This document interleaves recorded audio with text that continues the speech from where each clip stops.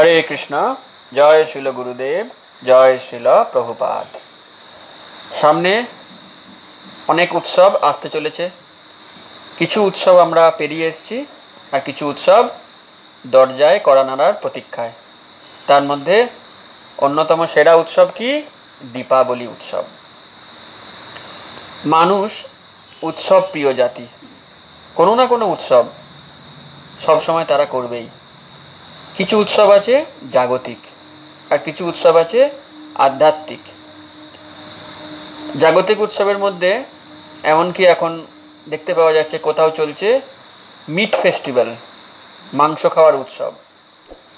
কয়েক বছর আগে কলকাতায় আমরা লক্ষ্য করলাম একটি উৎসব চালু হয়েছিল বিপ ফেস্টিভ্যাল। তা আফটার অল, এটা কলিযুগ। এসব চলতেই থাকবে। কিন্তু এই উৎসবগুলি মানুষকে কি করে? অধঃপতিত করে। আরও বেশি করে বন্ধনে আবদ্ধ করে এবং নরকের দিকে আকর্ষণ করে নিয়ে যায়। পাশাপাশি যদি আমরা আধ্যাত্মিক উৎসবগুলিকে রাখি, সেগুলি আমাদেরকে ক্রমশ বন্ধন মুক্তির দিকে নিয়ে যায়।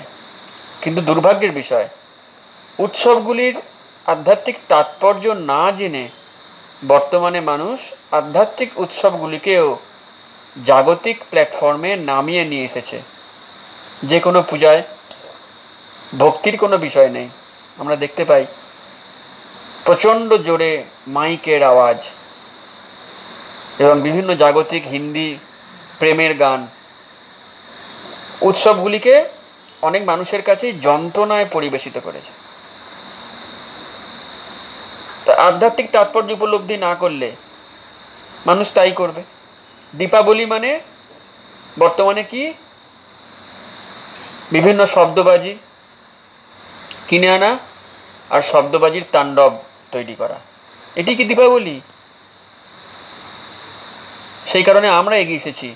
প্রত্যেকটা উৎসব যেগুলি আসতে চলেছে, তার স্পিরিচুয়াল সিগনিফিক্যান্সটা মানুষের সামনে তুলে ধরার জন্য। দীপাবলি মানে শুধুই বম ফাটানো নয়, এটির অ্যাকচুয়ালি আধ্যাত্মিক তাৎপর্যটা কি সেটি জানলে তবেই আমরা ঠিকঠাকভাবে এই উৎসবগুলিকে পালন করতে পারব এবং তার দ্বারা আমরা পারমার্থিক ক্ষেত্রে উপকৃত হতে পারব। সেই কারণে এই উৎসবগুলিকে আমরা ঠিকঠাকভাবে তার তত্ত্বগুলিকে তুলে ধরার চেষ্টা করছি। যাই হোক, দীপাবলি যদিও আমরা একদিনের দীপাবলি জানি, কিন্তু অ্যাকচুয়ালি দীপাবলিটি একটা সিরিজ অফ ফেস্টিভ্যালস এটি মোটামুটি পাঁচ দিন ব্যাপী একটি উৎসব। তা এই উৎসবটি শুরু হচ্ছে ধন ত্রয়োদশী থেকে। ধন ত্রয়োদশীটির অপভ্রংশ হচ্ছে ধনতেরাস। তেরা মানে তেরো। আর ত্রয়োদশী মানে তেরো। তিথিটি হচ্ছে ত্রয়োদশী তিথি। তাই ধনতেরাস বা ধন ত্রয়োদশী। ওই দিনটিতে কি হয়েছিল? না, ক্ষীর সমুদ্র মন্থন করার পর ওই দিনটিতে ভগবান শ্রীকৃষ্ণের অবতার হিসেবে স্বয়ং ধন্বন্তরী উপস্থিত হয়েছিলেন, আবির্ভূত হয়েছিলেন। সেই ধন্বন্তরী তার দু হাতে দুইটি আশীর্বাদ ছিল। এক হাতে ছিল অমৃত কলস, যে অমৃত খাওয়ার জন্য দেবতা এবং অসুরেরা এই ক্ষীর সমুদ্র মন্থন করছিলেন। আর তার আর এক হাতে আরেকটি অমৃত ছিল, সেটি কি?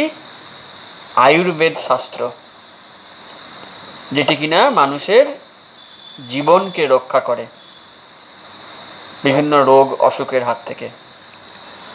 তো এই আয়ুর্বেদ শাস্ত্র তিনি দান করেছিলেন, তাই তাকে বলা হয় গড অফ মেডিসিন এবং ভারত সরকার সেই কারণে এই দিনটিকে ন্যাশনাল আয়ুর্বেদ ডে হিসেবে পালন করেন। তা এই দিনটি যারা আয়ুর্বেদ শাস্ত্র আরাধনা করেন বা তার চর্চা করেন, তাদের জন্য খুব প্রয়োজনীয়। ওই দিনটিতে যেমন ধন্বন্তরী উঠেছিলেন। অনেকে বলেন ওই দিনকে স্বয়ং লক্ষ্মী দেবীও ক্ষীর সমুদ্র মন্থনের ফলে আবির্ভূত হয়েছিলেন। তা লক্ষ্মী দেবী কি তার আগে ছিলেন না? ওই দিন যে আবির্ভূত হলেন। এখন এগুলি তাদের পাস টাইমস লীলা। সীতা দেবী এবং রামচন্দ্র তো ইটারনালি হ্যাঁ? বৈকুণ্ঠে প্রেজেন্ট অযোধ্যা অযোধ্যা লোকে। তবুও নতুন করে লীলার জন্য রামচন্দ্রের আবির্ভাব হয়, নতুন করে সীতা দেবীর আবির্ভাব হয়। দুটো আলাদা জায়গায় তাদের জন্ম হয়, তারা বেড়ে ওঠেন। আবার বিভিন্ন প্রক্রিয়ার মাধ্যমে তারা মিলিত হন। এগুলি তাদের লীলা। তারা বৈকুণ্ঠে অনন্তকাল ধরে রয়েছেন। তবুও জগতে আবির্ভাবটা বিভিন্ন লীলার মাধ্যমে হয়। লক্ষ্মী দেবীও লীলার মাধ্যমে এইভাবে ক্ষীর সমুদ্র মন্থনের ফলে এই দিনকে আবির্ভূত হয়েছিলেন। তাই অনেকে এই দিনকে লক্ষ্মী পূজাও করেন, লক্ষ্মী দেবীর পুষ্পাঞ্জলা, পুষ্পাঞ্জলি, ভোগ নিবেদন ইত্যাদি করেন। আর কি করেন? জুয়েলারির দোকান থেকে সোনার গয়না, রূপার গয়না ইত্যাদি অলংকার অনেকে ক্রয় করেন। কেন? এগুলি খুব অসপিসিয়াস, শুভ। তা সেইটি হচ্ছে এই দিনের তাৎপর্য। এর পরের দিন এর পরের দিনটি কোন তিথি হবে? চতুর্দশী। নরক চতুর্দশী। নামটা শুনলেই মনটা খুব ভালো হয়ে যায়, না? নরক চতুর্দশী। তার মানে খুব নারকীয় কিছু ব্যাপার, এর সাথে লিঙ্কড আছে। সেটি আমরা দেখব। ভগবান শ্রীকৃষ্ণ একবার বরাহ রূপ ধারণ করেছিলেন। কি কারণে? না, পৃথিবীকে সমুদ্রের মধ্যে ডুবিয়ে দেওয়া হয়েছিল। কে ডুবিয়ে দিয়েছিল? হিরণ্যাক্ষ। সেই পৃথিবী দেবীকে আবার নিজের জায়গায় উত্তোলন করার জন্য ভগবান এসেছিলেন বরাহ দেব রূপে। তার দাঁতের সাহায্যে তিনি পৃথিবীকে ঠিক জায়গায় প্লেস করেছিলেন। এখন এই যে পৃথিবীর সঙ্গে তার টাচ হলো, এর ফলে পৃথিবী সন্তানের জন্ম দিলেন। পৃথিবী দেবী আরেকটা নাম কি? ভূদেবী তাই তো? বা ভৌম দেবী। তার সন্তানের নাম হলো ভৌমাসুর বা নরকাসুর। তার পিতাকে স্বয়ং ভগবান। আর পুত্রকে নরকাসুর। যে সমস্ত পিতারা আক্ষেপ করেন, আমার পুত্র ভক্ত হলো না। দেখতে হবে যে স্বয়ং ভগবানের পুত্র অনেক সময় ভক্ত হন না। তার প্রকৃষ্ট প্রমাণ নরকাসুর। কাজেই কে যে ভক্ত হবে আর কে হবে না, এটি আমাদের হাতে নেই। তার অনেক অনেক জীবনের কর্মফল তাকে প্রভাবিত করছে। যাই হোক, এখন এই যে নরকাসুর, এনার নামটা থেকেই বুঝতে পারা যাচ্ছে এনার কার্য কীরকম হবে। ইনি কি ভূলোক, কি স্বর্গলোক, সর্বত্রই খুব তাণ্ডব শুরু করেছিলেন। তিনি স্বর্গলোকে গিয়েছিলেন চুরি করতে। এবং তিনি বরুণ দেবের খুব বিখ্যাত একটা ছাতা ছিল আমব্রেলা তিনি সেটি চুরি করে এনেছিলেন। শুধু তাই নয়, দেব মাতা অদিতি তার কানের দুল চুরি করে নিয়ে এসেছিলেন। তো এরকম অনেক কাণ্ড তিনি স্বর্গলোকে গিয়ে করেছিলেন। আর মর্তলোকে তিনি দশ হাজার একশো কন্যাকে, এই ষোলো হাজার একশো কন্যাকে, রাজকন্যাকে তিনি বন্দি করেছিলেন। নিশ্চয়ই কোনো সৎ উদ্দেশ্য নিয়ে নয়। হ্যাঁ? কুমারী কন্যা, রাজকন্যা, ষোলো হাজার একশো তাদেরকে বন্দি করে রেখেছিলেন। এখন দেবরাজ ইন্দ্র, তিনিও তো অনেক কমপ্লেন পেলেন, চুরির এফআইআর লজ হলো তার নামে। তাই ইন্দ্র দেখলেন, নরকাসুরকে আমি হয়তো পারব না। তার প্রচুর বিক্রম, প্রবল পরাক্রমশালী। ভগবান ছাড়া তাকে পরাস্ত করে, এমন ক্ষমতা কারণ নেই। তা নরকাসুরের যে দমন, ভগবান কীভাবে করেছিলেন, এটা খুব লং স্টোরি আপনারা শ্রীকৃষ্ণ বইতে পড়ে নেবেন। এখন সবটা আলোচনা করা যাবে না। দেবরাজ ইন্দ্র দ্বারকায় গিয়ে ভগবানকে রিকোয়েস্ট করলেন যে প্লিজ হেল্প করুন, নরকাসুরকে বধ করুন। কৃষ্ণ বললেন, ঠিক আছে। আমি তো সবসময় দেবতাদের সাহায্য করে থাকি। তিনি গরুরকে ডাকলেন, গরুরের পিঠে ভগবান শ্রীকৃষ্ণ বসলেন এবং রানী সত্যভামাকেও বসালেন। তারও একটা প্রেক্ষাপট রয়েছে, সেটা এখন আলোচনা করছি না, আপনারা পড়ে নেবেন। তা, তারা দুজনা মিলে গেলেন। কোথায় গেলেন? প্রাগ জ্যোতিষপুর, যেটি হচ্ছে নরকাসুরের রাজধানী। সেখানে একটি বহুস্তরীয় নিরাপত্তা বলয় ছিল, যেটিকে ছিন্ন করার ক্ষমতা একমাত্র সুদর্শন চক্রের আছে, আর কারোর ক্ষমতা নেই। ভগবান গিয়ে সুদর্শন চক্রের সাহায্যে তার সমস্ত নিরাপত্তার বলয়গুলিকে কেটে ফেললেন। প্রবেশ করলেন, তারপর তার প্রবল পরাক্রমশালী সৈন্যবাহিনী ভগবানকে আক্রমণ করল। ভগবান তাদেরকে বধ করলেন। তারপর এলেন দস্যু মুড়া নরকাসুরের একজন সাকরেদ। সেই মুড়াকেও ভগবান বধ করলেন। সেই থেকেই তার নাম হলো মুরারি। কৃষ্ণ মুরারি বলা হয় না? মুড়ের অরি বা মুড়া তার অরি সেই থেকে মুরারি। তারপর নরকাসুর এলেন এবং ভগবান সেই নরকাসুরকেও বধ করলেন। বধ করার পর তার বন্দিশালায় গিয়ে দেখলেন ষোলো হাজার একশো রাজকন্যা। তাদেরকে মুক্ত করলেন। তারা বললেন, আমরা যাব কোথায়? আমাদের সমাজ আর গ্রহণ করবে না। এই অসুর আমাদের তুলে নিয়ে এসেছে। কোনো রাজা আমাদের বিয়ে করবে না। এখন আমাদের অগতির গতি একমাত্র আপনি। আপনি দয়া করে আমাদের গ্রহণ করুন। তা কৃষ্ণ বললেন, ঠিক আছে। তোমরা দ্বারকায় যাও, ব্যবস্থা করছি আমি। সেখানে গিয়ে আমি তোমাদের বিবাহ করব। অনেকে প্রশ্ন করেন, এটা কীরকম ভগবান? যে এতজন রাজকন্যাকে বিয়ে করেন, ষোলো হাজার একশো, আর অলরেডি আটজন দ্বারকায় ছিল। তাহলে যোগ করলে ষোলো হাজার একশো আট। তা উত্তরে বলতে হয় এই কারণেই তিনি ভগবান। আর কেউ করে দেখাক। ষোলো হাজার একশো আটজন রানীকে শুধু বিয়ে করা নয় তাহলে প্রত্যেককে সুখী রাখা।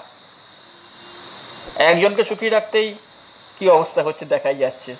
ষোলো হাজার একশো আটজন রানীকে কমপ্লিটলি হ্যাপি রাখা, তাদের প্রত্যেকের জন্য এক একটি চমৎকার প্রাসাদ নির্মাণ করা, মণিমুক্ত খচিত। এগুলি দেখিয়ে দেয় যে তিনি ভগবান। যাই হোক, তারপরে কৃষ্ণ দেখলেন যে চোরাই মাল ফেরত দিতে হবে তো? তিনি সেই বরুণ দেবের ছাতা, অদিতির কানের দুল, এগুলো সব সংগ্রহ করে সত্যভামাকে নিয়ে গেলেন স্বর্গলোকে। তাদেরকে ফেরত দিলেন। ফেরত দিয়ে বেরিয়ে আসছেন একটা সুন্দর পারিজাত গাছ। পারিজাত বৃক্ষের নাম আমরা শুনেছি, স্বর্গের বৃক্ষ। এর ফুল অসাধারণ। তার কোনো তুলনা এই জড়জগতে নেই। এখন এর সঙ্গে একটু সত্যভামার কাহিনী জড়িয়ে আছে। নারদ মুনি, তিনি একবার এই পারিজাত একটি পুষ্প নিয়ে গিয়ে রুক্মিণীকে উপহার দিয়েছিলেন। তা রুক্মিণী তো আনন্দে আত্মহারা, এরকম একটি সুন্দর পুষ্প দেখে। আর সঙ্গে সঙ্গে সত্যভামার একটু খারাপ লাগল, আমি পেলাম না। এখন কৃষ্ণ হচ্ছেন যে কোনো পরিস্থিতি ব্যালেন্স করার জন্য খুব এক্সপার্ট। তো উনি বললেন, ঠিক আছে, তোমাকে পারিজাত পুষ্প দেয়নি, আমি তোমাকে একটা আস্ত পারিজাত গাছ দেব। যত খুশি ফুল ফুটবে, সব ফুলের মালিক হবে তুমি। এখন স্বর্গ থেকে বেরোবার সময় সত্যভামা বললেন, তুমি আমাকে বলেছিলে না পারিজাত গাছ দেবে? এই গাছটি দাও। তা কৃষ্ণ বললেন, ঠিক আছে, নাও। সত্যভামা পারিজাত গাছটি নিয়ে এলেন দ্বারকায়। সেই খবরটি ইন্দ্র পেয়ে ভয়ঙ্কর ক্রুদ্ধ হলেন এবং তিনি কৃষ্ণের সাথে যুদ্ধে অবতীর্ণ হলেন। তাহলে দেখুন, শুদ্ধ ভক্ত হওয়াটা কত কঠিন। যে ইন্দ্র বিপদে পড়ে কৃষ্ণের সাহায্য চাইলেন, তার সাহায্য দিয়ে নরকাসুরকে বধ করা হলো। সেই কৃষ্ণ একটি গাছ নিয়ে এসেছে বলে ইন্দ্র তার সাথে ফাইট করতে গেলেন। তাহলে ইন্দ্র কতদিনকার ভক্ত বলে না ইন্দ্রের পোস্ট পেয়েছেন? তাহলে আমাদের কি দশা? আমরা কত বড় কৃষ্ণ ভক্ত, এটার পরীক্ষা হবে। যখন কৃষ্ণ হয়তো আমাদেরকে একটু বিপদের মুখে ফেলবেন, তখনও যদি আমরা কৃষ্ণের চরণে আমাদের ভক্তিটা রাখতে পারি, তাহলে বুঝতে পারা যাবে আমাদের একটু অ্যাডভান্সমেন্ট হয়েছে। যাই হোক, ইন্দ্রকে কৃষ্ণ অবহেলায় পরাজিত করলেন এবং পরা, পারিজাত গাছ নিয়ে ফিরে গেলেন। তারপরে ধুমধাম সহকারে এই রাজকন্যাদের সঙ্গে তার বিয়ে হলো। তা এই নরকাসুর বধের এই লীলাটি এই পার্টিকুলার দিনকে হয়েছিল। তাই এই দিনটার নাম নরক চতুর্দশ, চতুর্দশী। এরপরে আসছি আমরা দীপাবলি। দ্বীপ মানে লাইট, প্রদীপ। আর আবলি এই শব্দটার অর্থ হচ্ছে ইন রো। অর্থাৎ বা ইন লাইন, একটি, একই লাইনে যদি অসংখ্য দ্বীপ সাজিয়ে রাখা যায়, সেটিকে বলা হয় দীপাবলি। দিওয়ালি শব্দটিরও একই অর্থ। সারা পৃথিবী এই উৎসবটিকে ফেস্টিভ্যাল অফ লাইট হিসাবে জানে। শুধু ভারতবর্ষে নয়, সারা পৃথিবীর অন্যান্য ধর্মের মানুষেরাও খুব শ্রদ্ধার সঙ্গে ফেস্টিভ্যাল অফ লাইট এটি পালন করেন। লন্ডনের যে পার্লামেন্ট, সেখানে এটি পালন হয়। লন্ডনের রানী নিজে ফেস্টিভ্যাল অফ লাইট পালন করেন। ইন্টারনেটে সার্চ করে দেখবেন হোয়াইট হাউস আমেরিকান প্রেসিডেন্টের যে নিবাস, সেখানে প্রত্যেক বছর ফেস্টিভ্যাল অফ লাইট পালন করা হয়। বারাক ওবামা এই সম্পর্কে খুব সুন্দর কিছু কথা বলেছেন। এমনকি ডোনাল্ড ট্রাম্প তিনিও এই ফেস্টিভ্যাল অফ লাইট সম্পর্কে উচ্ছ্বসিত। তাহলে সারা পৃথিবী এই ফেস্টিভ্যাল অফ লাইটকে খুব আদরের সঙ্গে পালন করেন। কেন? কি কারণ, কি তাৎপর্য, এটি আমাদের জানতে হবে। পশ্চিমবাংলায় অনেকে মনে করে যেহেতু কালী পূজার দিনকেই এই দিনটি পড়ে, যে কালী পূজার জন্য আমরা প্রদীপ জ্বালছি। কালী পূজার সঙ্গে দীপাবলির কোনো সম্পর্ক নেই। এটি কোনো কালী কেন্দ্রিক উৎসবও নয়। এটি পুরোটাই রাম কেন্দ্রিক উৎসব। তাই দীপাবলির পুরো সম্পর্কটাই রামচন্দ্রের সঙ্গে। আমরা আগের ভিডিওতে দেখেছি বিজয়া দশমীর ভিডিওয়ে যে বিজয়া দশমীর দিন রামচন্দ্র রাবণকে হত্যা করেছিলেন। আর এই দীপাবলির দিন রামচন্দ্র অযোধ্যায় প্রত্যাবর্তন করেছিলেন। আমাদের সমালোচকরা এটা শুনেই প্রশ্ন করবেন যে রাবণ মারা গেল কবে? বিজয়া দশমী তার প্রায় আঠেরো কুড়ি দিন পর দীপাবলি। তা রামচন্দ্র তো ফিরলেন রথে করে, নিমেষের মধ্যে। তাহলে আঠেরো কুড়ি দিন সময় কেন লাগল? তারা অনেকে বেশ আনন্দিত, এই একটা পয়েন্ট পেয়েছি চেপে ধরার। হ্যাঁ এইসব ভুল ব্যাখ্যা আপনারা দিচ্ছেন? দেখি কীরকম উত্তর দেন। না, এর উত্তর শাস্ত্রে দেওয়া আছে। রামচন্দ্র হচ্ছেন মর্যাদা পুরুষোত্তম ভগবান। রাবণকে বধ করেই তার কর্তব্য শেষ হয়ে গেল না। তিনি বিভীষণকে বললেন, তোমার দাদা, তিনি নিহত হয়েছেন। তুমি যথে যথাযোগ্য মর্যাদা সহকারে তার অন্ত্যেষ্টি ক্রিয়া করো। বিভীষণ বললেন যে, উনি দস্যু, অত্যন্ত ভয়ঙ্কর একটি অসুর। ওনার অন্ত্যেষ্টি না করাই ভালো। রামচন্দ্র বললেন, না, তুমি ভাই হিসেবে তোমার কর্তব্য অবশ্যই করবে।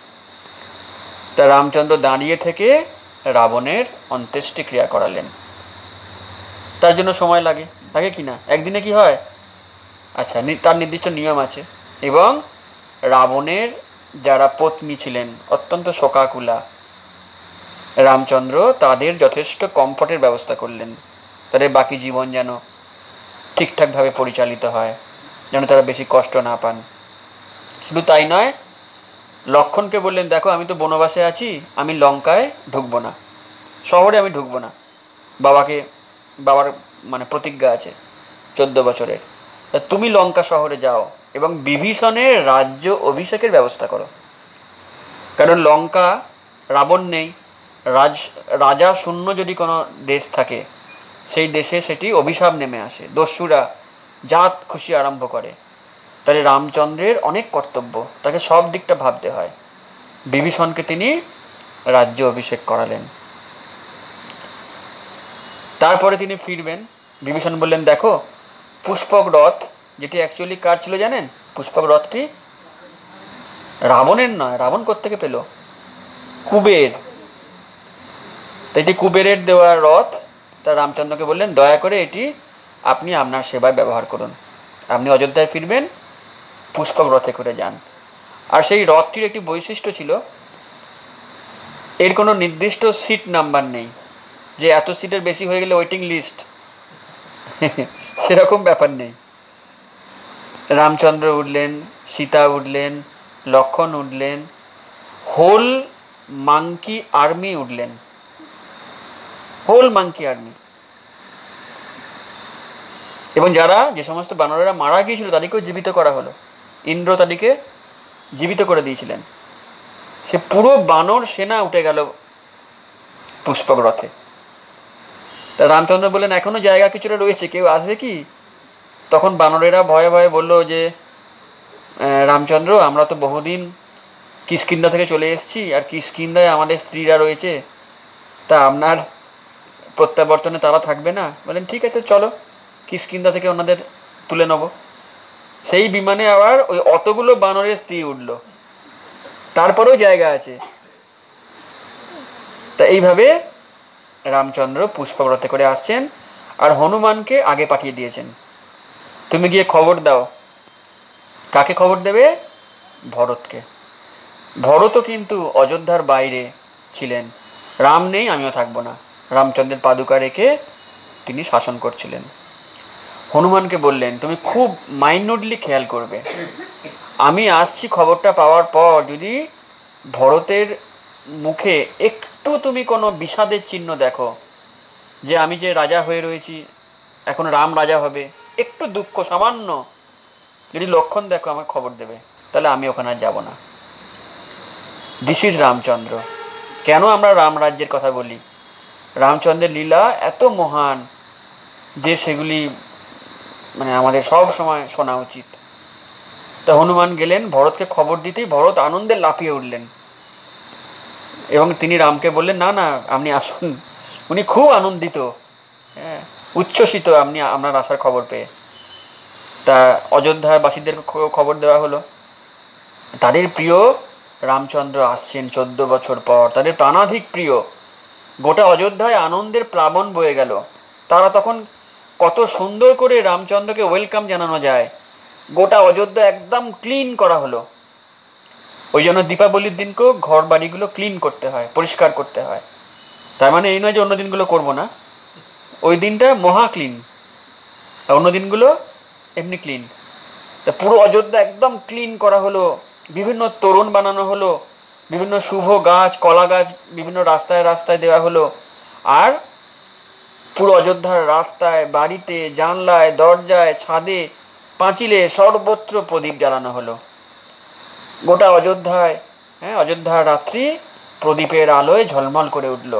তারা তাদের প্রাণের সমস্ত আবেগ দিয়ে, সমস্ত ভালোবাসা দিয়ে রামচন্দ্রকে ওয়েলকাম জানালেন। দিস ইজ দীপাবলি ফেস্টিভ্যাল এবং এর আরও কিছু সিম্বলিক বিষয়ও রয়েছে। জড় জগৎকে বলা হয় অন্ধকার। তমসমা জ্যোতির্গময়। এই অন্ধকার লোকে থেকো না, জ্যোতির্ময় লোকে ফিরে এসো। এই জড়জগৎ অন্ধকার। আলো আসছে থেকে সূর্যের কাছ থেকে। সূর্য আলো থেকে পাচ্ছে? আলোর উৎস, জ্যোতির উৎস একমাত্র কৃষ্ণ। কৃষ্ণের শরীর থেকে জ্যোতি বেরোয়। সূর্য এই আলো পাচ্ছে কৃষ্ণের কৃপায়।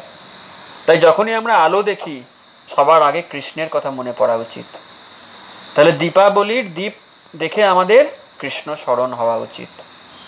এই সিগনিফিকেন্স জানলে না স্মরণ হবে, না হলে কেবল বম ফাটাবো ব্যাস, কালী, দেওয়ালি শেষ। তাহলে প্রত্যেকটা প্রদীপ জ্বালাবো আর কৃষ্ণের স্মরণ করব যে কৃষ্ণের কৃপায় আমরা সূর্যের মাধ্যমে এই আলো পাচ্ছি। আর কি? না লাইট সিগনিফাইজ নলেজ আলোকে জ্ঞানের সঙ্গে তুলনা করা হয়। এবং আলোকে বলা হয়, এটা হচ্ছে অসপিসিয়াসনেসের প্রতীক শুভর প্রতীক। যে কোনো শুভ অনুষ্ঠানে আলো জ্বালানো হয় না। হ্যাপি বার্থডে অনুষ্ঠানে মোমবাতি জ্বালানো হয় তো। কিন্তু একটা জিনিস ভুল করা হয়, মোমবাতিগুলো ফুঁ দিয়ে নিভিয়ে দেওয়া হয়। অন্ধকার হচ্ছে দুর্ভাগ্যের প্রতীক। অর্থাৎ এই যে ফেস্টিভ্যাল ঠিকঠাক না জানার কারণে কি হয়? জন্মদিনের দিনই তার দুর্ভাগ্যকে আমন্ত্রণ জানানো হয়। মোমবাতিগুলো ফুঁ দিয়ে নিভিয়ে দিয়ে। তার জীবনে অন্ধকার নেমে আসুক, এটা কি আমরা চাই? তাহলে অন্ধকার আমরা করি কেন? আলোকে জ্বলতে দেওয়া উচিত, আলোকে নেভানো উচিত নয়। আলো মানেই শুভ, আলো মানেই জ্ঞান। তাহলে দীপাবলির দিন যদি আমাদের এই অজ্ঞানের যে হৃদয়, সেখানে কৃষ্ণ জ্ঞানের আলো আমরা আনতে পারি। এবং অন্যান্য মানুষদেরকেও যদি আমরা দীপাবলির মাহাত্ম উপলব্ধি করিয়ে কৃষ্ণ জ্ঞানের আলো দিতে পারি, তাহলেই আমাদের দীপাবলি পালন সার্থক। এরপরে, এর পরের দিনটি হচ্ছে শুভ বলি পদ্মমী। এই দিনটিতেও দুটি ঘটনা ঘটেছিল। একটি ঘটনা কি? না, ভগবান বামনদেব ওই দিনকেই বলি মহারাজের মস্তকে নিজের চরণ স্থাপন করেছিলেন। এবং তাকে পাতাল লোকের অধীশ্বর করেছিলেন।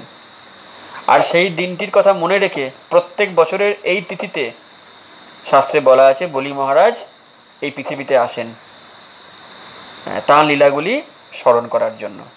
এটি একটি ঘটনা। আরেকটি ঘটনা কি?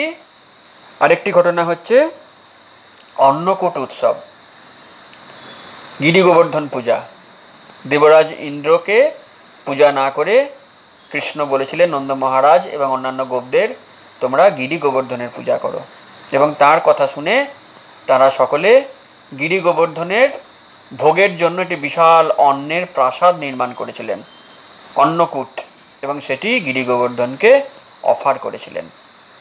এইভাবে ওই দিনকেও আমরা অন্নকূট উৎসব পালন করি।